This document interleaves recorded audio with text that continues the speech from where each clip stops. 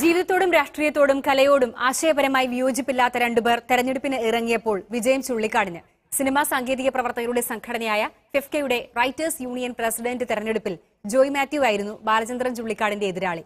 കൊച്ചിയിലെ സ്വകാര്യ ഹോട്ടലിലായിരുന്നു തെരഞ്ഞെടുപ്പ് വേദി ബാലേന്ദ്രൻ ചുള്ളിക്കാട് ബാലേന്ദ്രൻ ചുള്ളിക്കാട് ബാലേന്ദ്രൻ ചുള്ളിക്കാട് ബാലേന്ദ്രൻ ചുള്ളിക്കാട്. ചുള്ളിക്കാടിന്റെ പേര് ഇടതടവില്ലാതെ ഉയർന്നു കേട്ട വോട്ടെണ്ണലിൽ. ജോയ് മാത്യു പരാജയം ഉറപ്പിച്ചിരുന്നു. നേർക്കുനേർ വെല്ലുവിളിയോ ശബ്ദകോലാഹലങ്ങളോ ഇല്ലാതെ എഴുപത്തിരണ്ടിൽ അൻപത് വോട്ട് നേടി ബാലചന്ദ്രൻ ചുള്ളിക്കാട് ഫെഫ്ക റൈറ്റേഴ്സ് യൂണിയന്റെ പ്രസിഡന്റായി. നാല് പതിറ്റാണ്ട് നീണ്ട ചുള്ളിക്കാടുമായുള്ള സൗഹൃദത്തിന് ഒരിക്കൽ കൂടി കൈകൊടുത്ത് തോൽക്കുന്നത് വലിയ ആളോടെങ്കിൽ അത് വലിയ കാര്യമല്ലേ എന്നായിരുന്നു ജോയ് മാത്യുവിന്റെ കമന്റ്. മത്സരിക്കുന്ന ഒരു സ്പിരിറ്റാണ് പ്രധാനം.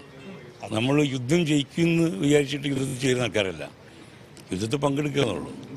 ആ പങ്കെടുക്കുന്നു പരാജയപ്പെടുന്നത് വലിയ ആളോടാകുമ്പോൾ നമുക്ക് സന്തോഷം കൂടുതലാണ് ഐ എം വെരി ഹാപ്പി മത്സരിക്കാമെന്ന് പറഞ്ഞത് ജോയ് മാത്യു ആണെന്നും സംഘടനയുടെയും അംഗങ്ങളുടെ താല്പര്യത്തിനും അപ്പുറമുള്ള രാഷ്ട്രീയം തനിക്കില്ലെന്നും ബാലേന്ദ്രൻ ചുള്ളിക്കാട് പറഞ്ഞു. ഞങ്ങളുടെ രാഷ്ട്രീയം എന്ന് പറഞ്ഞാൽ ഞങ്ങളുടെ സംഘടനയുടെ താല്പര്യങ്ങളാണ്. ഞങ്ങളുടെ അംഗങ്ങളുടെ താല്പര്യങ്ങളാണ് രാഷ്ട്രീയം. അതിനപ്പുറത്ത് രാഷ്ട്രീയമില്ല. ഞാൻ പിൻവലിക്കുന്ന കാര്യം ഇങ്ങനെ ആലോചിച്ചപ്പോൾ ഞാൻ അറിഞ്ഞില്ല ജോയി മത്സരിക്കുന്നുണ്ടെന്ന് സത്യത്തിൽ. അപ്പോൾ ജോയിയാ പറഞ്ഞടാ നീ പിൻവലിക്കണ്ട. നമുക്ക് രണ്ടുപേർക്കും മത്സരിക്കാം. നാമനിർദ്ദേശമെന്ന പദവി രീതി മാറ്റിയാണ് ഇക്കുറി ഫെഫ്ക റൈറ്റേഴ്സ് യൂണിയൻ തെരഞ്ഞെടുപ്പിലേക്ക് കടന്നത്. മനോരമ ന്യൂസ് കൊച്ചി.